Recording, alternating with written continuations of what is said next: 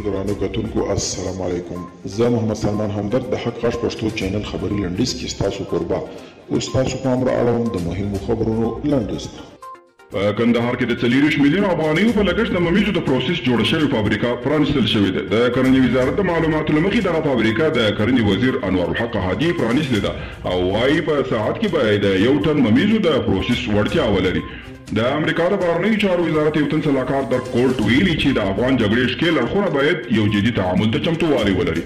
کولټ ویلي دوی هیله لري او غواړي چې د سولې برخه کې جدي پرمختګونه ووري او ښکېلو لوریو ته په کار ده چې د تلپاتې سولې لپاره یو جدي تعامل ته چمتووالی ولري. په فرانسه کې سخت دريځو افراطيانو په عامه ځايونو کې د مسلمانانو د لمونځ د مخنيوي غوښتنه کړې ده.